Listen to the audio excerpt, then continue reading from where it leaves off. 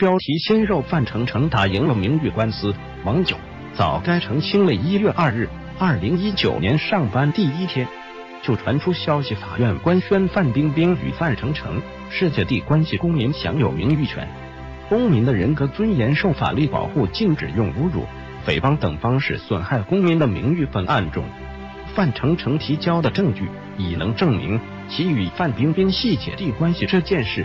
当时网络上有好多传言，肯定有好多人发文，但范丞丞起诉的这个人却是个从注册微博那年开始就痴迷转发抽奖，连续发了五年还不死心的没有任何影响力的用户。起诉一个这样的用户，要求网络上公开道歉，要求赔偿五十万精神损失费等各项费用，而最终法院只判赔偿了六万的律师费。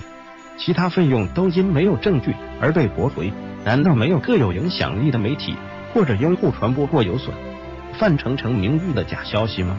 这个痴迷抽奖的用户，二零一三年注册时就开始转发抽奖，二零一四年仍在转发抽奖，二零一五年仍在转发抽奖，二零一七年仍在转发抽奖，二零一九年仍在转发抽奖，转发了五年，不知道这个用户抽中了多少。如果一直没抽中，那应该不会如此执着的转发了五年的抽奖吧？五年里极少发布其他消息，偶尔发了点抄袭的鸡汤、恋爱心理学、遇见灵魂伴侣的感觉，就好像走进一座你曾经住过的房子里，你认识那些家具，认识墙上的画、架上的书、抽屉里的东西。如果在这个房子里你陷入黑暗，你也仍然能够自如的四处行走，偶尔发一些语言不通的。不知所云，对李小璐有着执着的怨念，发些跟李小璐毫无关系的内容，却配李小璐的图片。也许更应该起诉他的是李小璐吧？